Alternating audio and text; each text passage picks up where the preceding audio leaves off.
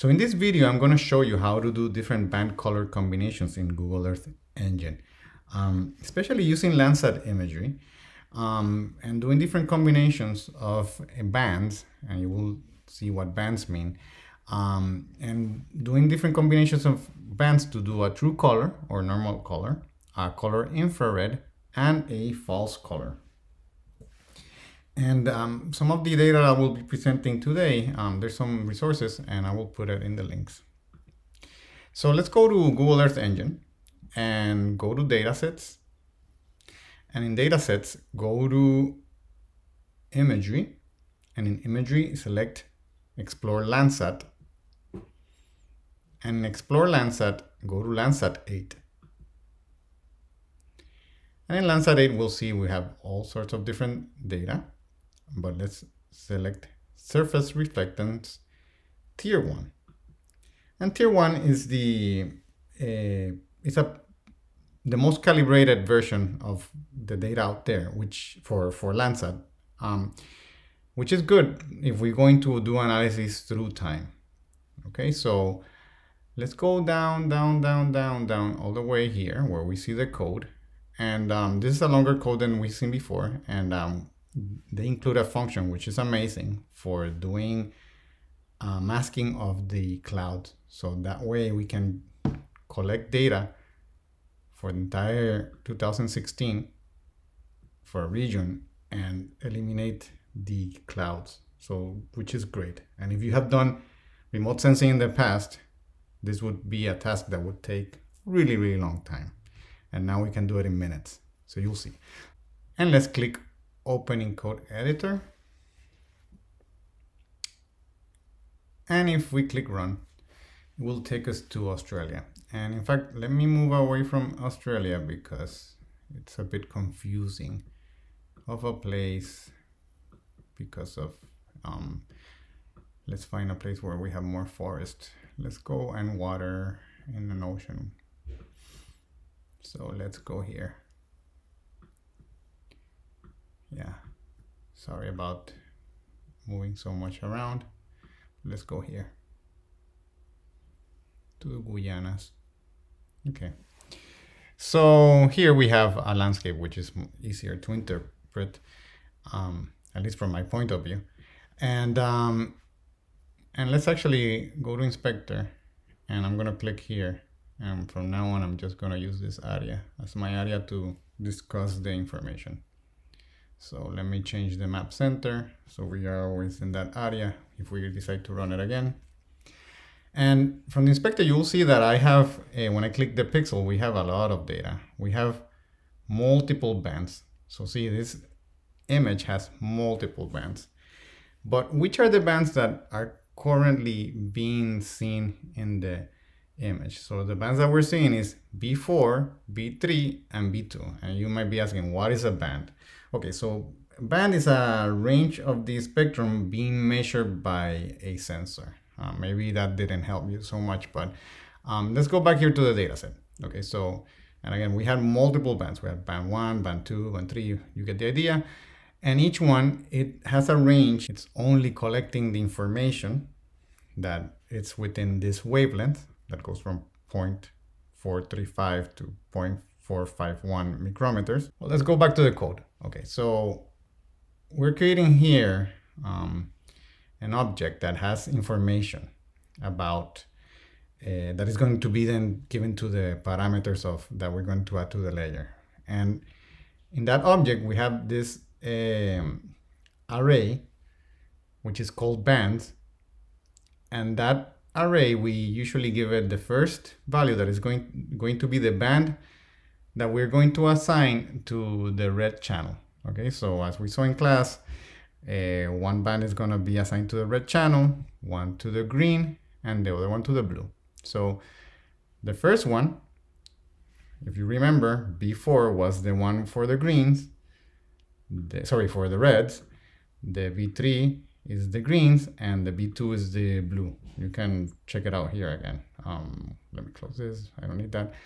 So again, B4 is the red, B3 is the green, and B2 is the blue. So right now, again, like I showed you in the in the presentation, we're doing, we're observing the true color or normal color. So that's why when we look at the image, so the ocean looks blue, the forest looks green, okay? And here's the sedimentation and it looks brown. So it, it looks kind of like what you would get out of a, of a regular camera.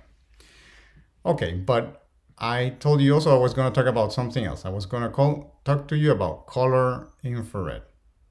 So let's see how we do color infrared.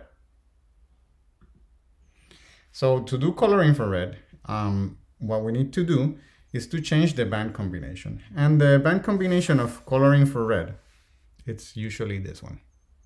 So well, actually, let me look into the bands. So yeah, so here we have the near infrared. Near infrared is B5. Okay, so we're gonna go here. Just gonna assign this one to be B5. And um, this one is gonna be B4. And this is gonna be B3. And Let's run it. And that is a color infrared, okay? And um, this is a very traditional way of seeing images that shows you um, vegetated versus non-vegetated. Let's see another color combination. And, and when we start moving into all other types of color combinations, band combinations, I should say, then we start to call them like I show you here in the presentation, false color. Some people already call false color the color infrared, but um, just so you know, you know, when we do this combination of uh, near infrared, red, green, we call that um, color infrared. So let's do a few other color combinations. And a good resource for that is actually this, this site. Um, and I will put the link below. Um, this site talks about the different uh, bands that have the Landsat and tells you a little bit about what each band does, right? So it's, it's a good information. But it also talk, talks to you about different band combinations as well, um, like we'll see. And, um, and i will make a few of those band combinations so you can see the kind of information that, that um, each uh, band combination gives you. It's, it's, this is also a, a question of, of um, of uh, taste, right? Because some people like more certain combinations than others. So let's go to a more exciting place um, where we could actually some urban combine combine with um, with forest. And um, let's go to Iquitos. I, I like this area because it's where I used to do research. And it will give us some idea of the different combinations. So because over there you can only see and vegetated and non-vegetated. Here you can see vegetated and you can see urban and you can see water, right? So you can see the vegetated in red and you can see the, the urban um, in this brown and the, and the water. Um, so let me show you other color combinations. In fact, let me go again to inspector and then click here and take out those coordinates so we can then come back to that place.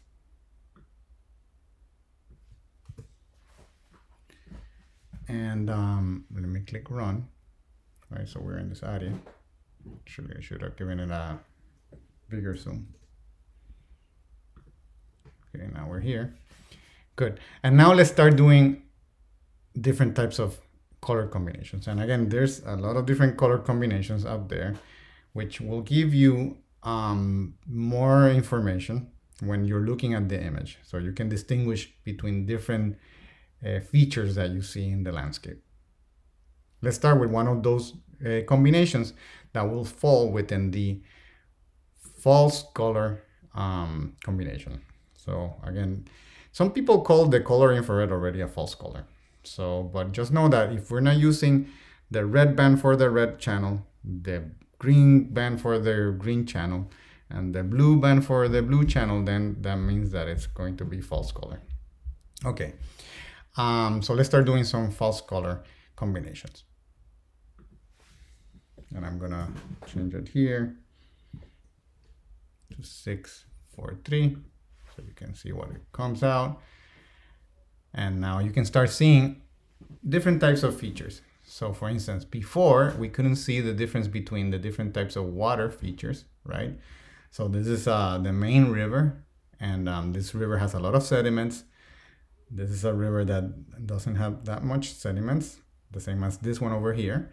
Um, but also we can see a bit of the Oxbow Lake. So we can see water, but in a different kind of setting, okay? But the other thing is that you can see that there's the vegetation, right? Um, but this that is forest and this is vegetated, but that's agriculture.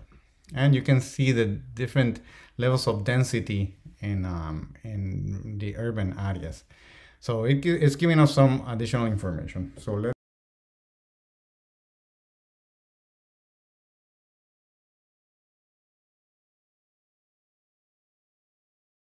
So with this band color combination, we're getting to see more different types of uh, forest and also different types of uh, water types. Um, but the forest looks red and maybe we want to make it more obvious to people that what we're seeing here is actually forest not, and not something red.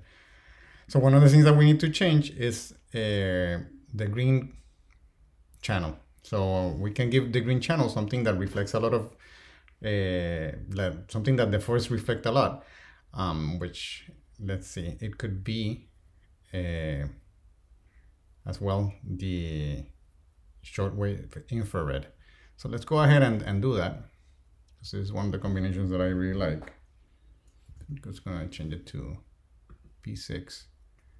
And see, and now the forest looks green and we still can see different types of forests. So see, we can see this kind of forest. This is such an interesting place.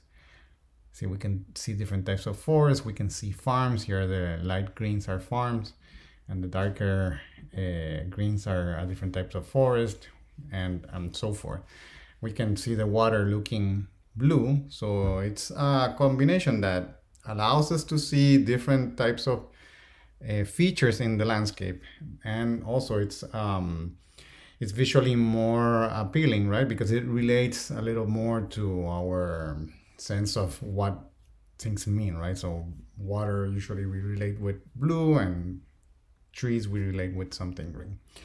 So i hope you have learned some of the uh, ways to change band combinations. In another video i'll show you a little more about things that we can change but you can remember as in previous uh, videos that we can change what are the minimum and maximum values that are going to be presented. But here already they have selected some for you to be starts being able to see the Landsat imagery.